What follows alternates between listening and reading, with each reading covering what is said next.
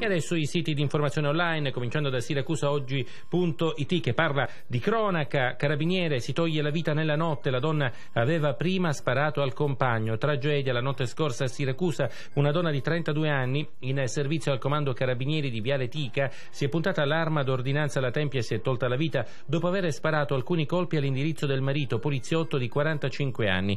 Non sono chiari i motivi del gesto che sarebbe da ricondurre, secondo le prime indiscrezioni, a dinamiche familiari. Nella prima parte della mattinata hanno raggiunto Siracusa i parenti della giovane accolti presso la caserma di Viale Tica. L'uomo è ricoverato all'Umberto I, è stato operato ed almeno un proiettile estratto pare dalla coscia. È avvenuto tutto in via Spatola, nella zona di Traversa Carrozziere, poco distante da via Lido Sacramento. Sul posto sono arrivati polizie e carabinieri per avviare le rispettive indagini. La procura ha disposto il sequestro dell'immobile, delle armi in uso alla coppia, rilievi scientifici e accertamenti balistici affidati ai RIS è stata disposta l'autopsia.